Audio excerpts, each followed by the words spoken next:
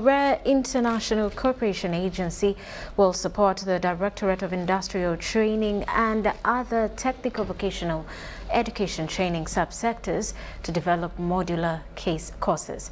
Uh, that's in Uganda. A delegation of South Korean consultant, consultants uh, is in Uganda to train institution staff, industrialists and DIT staff and develop assessment training packages. Korea International Cooperation Agency will collaborate with the Ministry of Education and Sports to support the Directorate of Industrial Training in implementing the short-term training programs in mechanics, plumbing, electronics, fashion and designing.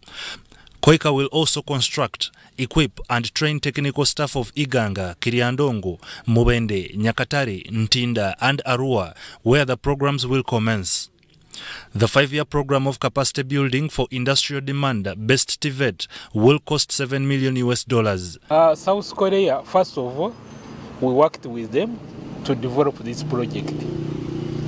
But also, South Korea is one of the developing countries which has moved from a donor recipient to now a donor giver.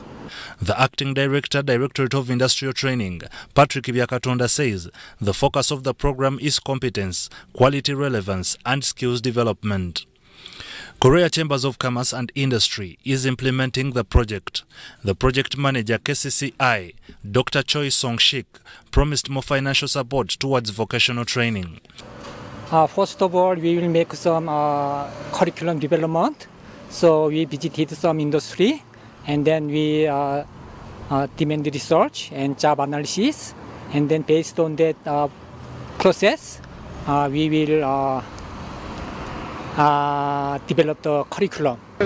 Power up the human resources, the, the beneath was the uh, vocational training.